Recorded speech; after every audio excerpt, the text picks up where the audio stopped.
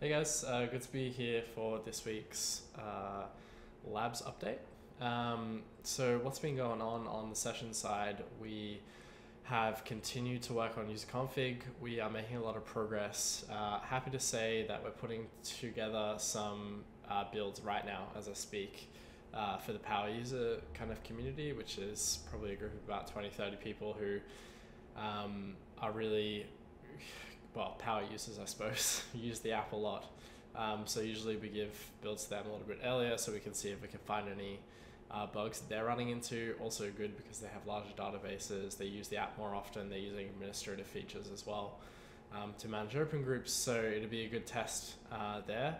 If that all goes well, um, there's nothing really getting in the way of user config being released. Um, so hopefully we'll be very soon down the line um, after that but we'll see how that goes. Uh, it's kind of too early to say at this point. Uh, the session team's also been working on disappearing messages, um, so basically merging back disappearing messages into the user config stuff. Found a bunch of edge cases this week, which we have done a bit of design work to resolve, um, and that's looking good. And then there's also some work going on uh, on Android right now to implement a message info screen, which has been on iOS as well for a while. Um, so yeah, that's just. Oh, and um, desktop's working on, or was working on right to left uh, language support. So yeah, um, languages which are typed right to left. Um, example would be like Farsi. Uh, we had a lot of Iranian users come in um, over the last uh, six months. So when those Iranian users had come in and were typing Farsi, it was going the wrong direction. So um, we've added, uh, it's, a, it's a work in progress. We need it to be reviewed um, by a few community members, but yeah, we're working on that process to add um, right to left uh, support in the message box. Um, so that is really good as well. Uh, on the LokiNet side of things, basically just continuing work on libQUIC. Um, we are making a lot of progress there as well. Uh, and this week, happy to say that we just started integrating libQUIC into uh, LokiNet slash liblokinet. Um, and the speed ups are looking very large.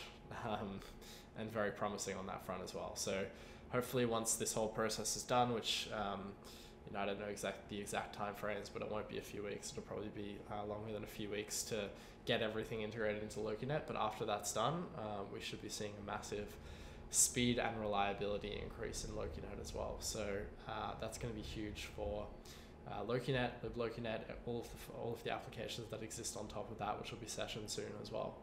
Um, so some big news there too. Uh, all right, I think that's it for us. Uh, thank you for listening, and I'll pass it over to Cam. See ya. Hey guys, what's up? Uh, last week in the marketing labs, uh, probably the most exciting thing that happened was we reached 750,000 users on session, which was a great milestone to reach and is extremely important for the goals that Oxen has going forward for the rest of the year and beyond.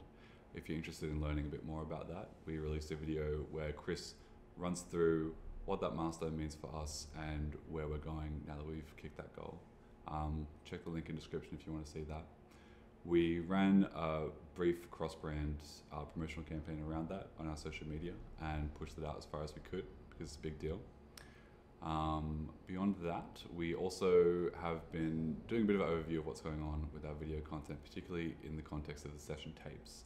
And something that we're looking at doing pretty soon is getting someone on for a guest spot. So let us know in the comments, get in touch if there's anyone in particular that you would like us to speak to, because that's likely going to happen pretty soon.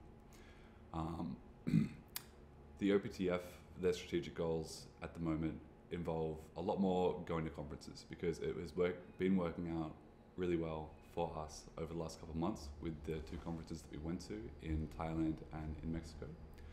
Um, if you want to learn more about that, um, we released a blog uh, we went over the highlights, uh, what it means for the project, and we are looking at over the next six months more places that we can go because it has a tremendous impact on the project overall. The session phone giveaway uh, winner was released. The giveaway overall ended up being a really successful experiment, and we learned that that sort of promotional activity gives a way better ROI than just spending money to achieve Twitter followers or whatever objective you have on social media um, about about 20 times better ROI in the end, according to the numbers that we ran. So overall, that was really successful, and congratulations to the winner.